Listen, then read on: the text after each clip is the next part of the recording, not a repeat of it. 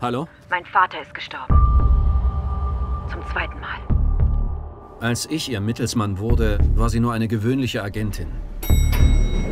Da bist du ja. Es war meine Idee, sie in den Iran zu schicken. Du bist perfekt für diesen Auftrag. Sie war zielstrebig und wollte etwas Bedeutsames leisten. Ich vertraute ihr.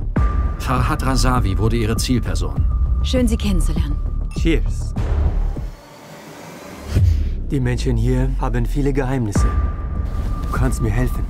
Bitte zieh mich da nicht mit rein. Du wirst ihn herbringen, egal wie.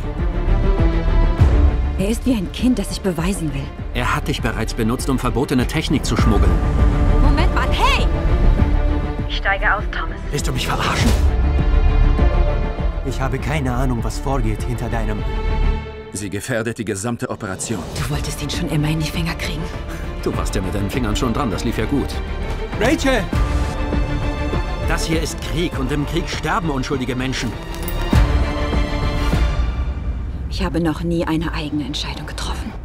Lasst es mich noch mal versuchen. Selbst wenn ich in den nächsten fünf Minuten sterbe, war es richtig.